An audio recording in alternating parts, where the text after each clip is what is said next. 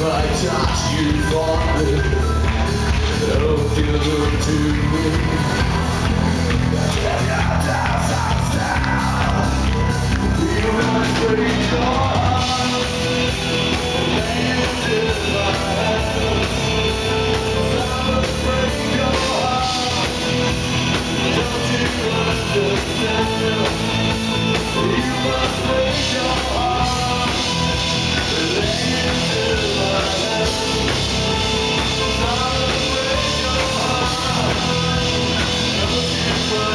Christmas.